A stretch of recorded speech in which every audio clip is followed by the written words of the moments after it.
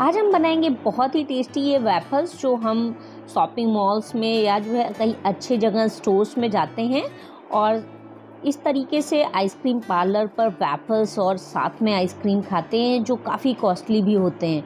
तो इस आसान तरीके से जैसा कि मैं बताने जा रही हूँ आगे, ये रेसिपी आप इंजॉय कर सकते हैं अपने फेवरेट आइसक्रीम के साथ में या प्लेन ऐसे ही वेफल्स ये बहुत ही टेस्टी होता है और बहुत ही ईजिली बन जाता है काफ़ी कम समय में। वीडियो स्टार्ट करने से पहले ये रिक्वेस्ट है कि प्लीज़ सब्सक्राइब करें और ज़्यादा से ज़्यादा शेयर करें। वीडियो पसंद आए तो लाइक करें। और अब चलते हैं रेसिपी के लिए। ये मैंने ले लिया है एक वैफल मेकर ये मैंने मैनुअल वाला लिया है। हैंडल्स हैं इसमें। और ये बैफल मेकर मुझे काफ़ी अच्छा लगा क्योंकि मैंने जो मिनी रेड कलर के बहुत सारे अमेज़न पर आप देखेंगे, मिल जाएँगे आपको। लेकिन उसको मैंने देखा कि वो एक से दो बैफल बनाने में हीट हो जाता है और उसे हैंडल करना काफ़ी कठिन होता है। तो इस तरीके से आप कई वेफल्स उस पर नहीं बना सकते हैं और मुझे ये ज़्यादा अच्छा लगा और इसका नॉन स्टिक कोटिंग भी काफ़ी अच्छा है। और ये कोई स्पॉन्सर्ड वीडियो नहीं है। जैसा कि आप जान सकते हैं कि मैं अभी यूट्यूब पर नहीं हूँ तो मुझे कोई स्पॉन्सरशिप वगैरह किसी भी तरह की नहीं मिली, लेकिन मुझे ये प्रोडक्ट बहुत अच्छा लगा और इसका सैंडविच मेकर भी मेरे पास है तो काफ़ी मुझे अच्छा लगा। हाँ अगर आपको लिंक चाहिए तो मैं आपको डिस्क्रिप्शन बॉक्स में लिंक दे दूँगी, आप कमेंट करके ज़रूर पूछिएगा। और इसको अब हम जो है, पहले वॉश कर लेंगे और ये देखिए, काफ़ी स्टर्डी है, इसके हैंडल्स भी स्टर्डी हैं और इसका नॉन स्टिक भी बहुत अच्छा है। और अब चलते हैं वैफल बनाने के लिए, इसके लिए हमने ले लिया है वन फोर्थ कप मिल्क और वन फोर्थ कप कर्ड दही। और साथ में डाल देंगे आधा कप चीनी। और साथ में ही ये ले लिया है one third cup oil oil अगर यूज़ कर रहे हैं तो ये न्यूट्रल फ्लेवर का हो तो अच्छा है। और नहीं तो आप इसकी जगह पर घी या बटर भी यूज़ कर सकते हैं। और अब चलते हैं अपने ड्राई इंग्रेडिएंट को मिला लेते हैं। इसके लिए हमने ले लिया है हाफ़ कप मैदा और वन टेबल स्पून कॉर्नफ्लोर साथ ही में हम ऐड कर देंगे half teaspoon baking powder और one four teaspoon baking soda. और चूँकि मैं ये चॉकलेट फ्लेवर का बना रही हूँ तो इसमें मैंने डाल दिया है one fourth cup cocoa powder. अगर आपको चॉकलेट फ्लेवर नहीं पसंद है या नहीं बनाना है तो उसमें आप कोकोआ पाउडर को अवॉइड कर सकते हैं।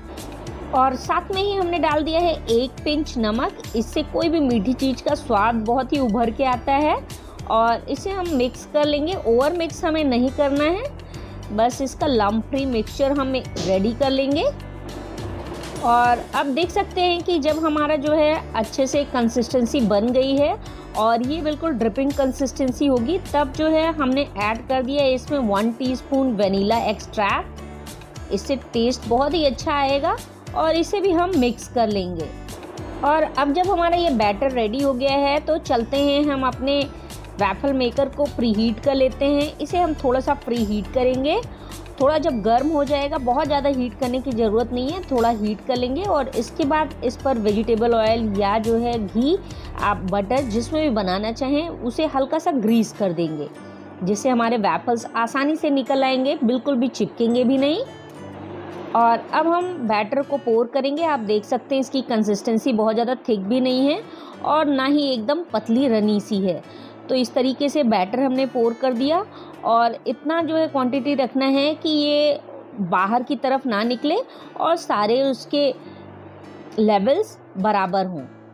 इस तरीके से हम बराबर कर लेंगे और ये जो है हमारा वेफल एक साइड से जब सिक जाए, तीन से चार मिनट के बाद में टर्न करके दूसरे साइड भी सेक लेंगे। और देख सकते हैं कि कितना बढ़िया हमारा ये वेफल दोनों साइड से सिक चुका है।